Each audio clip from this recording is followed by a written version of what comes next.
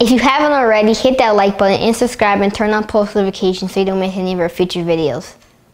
Aloha, friends. I don't think you know what we're making.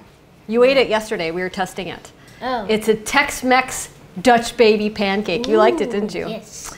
And we are going to show you how to make it because it's super duper easy. What you want to do is get a cast iron skillet and put it into a very hot oven. The full recipe will be in the link below. Okay, so check that out. So our cast iron skillet's in the oven. Mm-hmm. And Kai, I want you to crack four eggs. Let's crack them into this little dish in case we get a shell. Okay, can you crack four eggs in there? And a Dutch baking pancake is like a baked pancake that fluffs up. It's okay, just crack the eggs.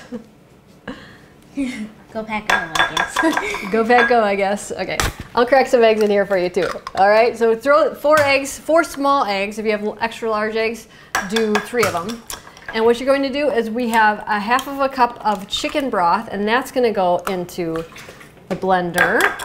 All right, and we're also going to use my favorite Two Sisters salsa. I love how it says sugar-free salsa on the front. It says sugar-free. Check out their salsa. It's delicious. You're going to put the four eggs in there. You're going to add the salsa in there. And we're going to do two teaspoons of my taco seasoning.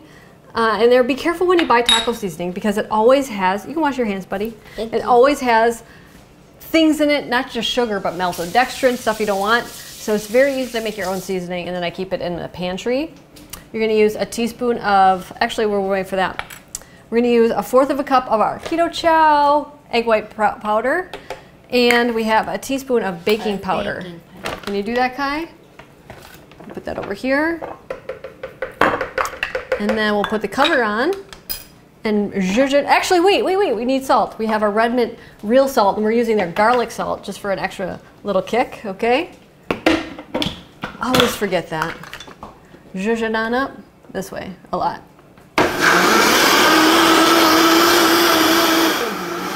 Okay, now I'm going to get that hot skillet out of the oven. All right, it's very piping hot. And then I'm going to add a little bit of oil to the bottom. I opened the top. You can open the top, bud. He wanted to say go pack go. Yes. We go love pack, go. we love the Packers. And careful, bud, this is very hot. I'm going to put this into the skillet. Hear that sizzle? Yes. And this is going to puff up into a beautiful pancake. We're going to put it in the oven. We'll catch you back in a little bit. Okay, Okay. it's time. It's been about 18 minutes. Let's pull this baby out. Look how beautiful it is. Yes. It's nice and puffy like this. You could sprinkle some cheese on it if you want to. We were going to add some more salsa on top of it.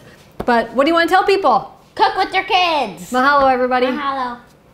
If you want to change your life like I've changed mine with food, I would be honored to help you. Many of you don't know that I was twice my size. I had acid reflux. I had PCOS, which is polycystic ovarian syndrome.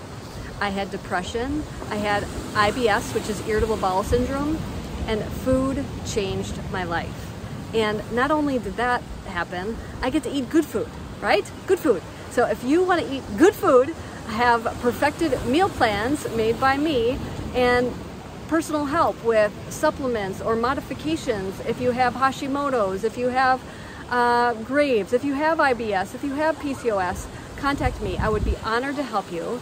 Um, you can go to keto-adapted.com and find a lot of different options there for personalized help or message me uh, by commenting below on this YouTube video or you can check me out at mariamindbodyhealth.com. Mahalo. Sharing is caring. Share this video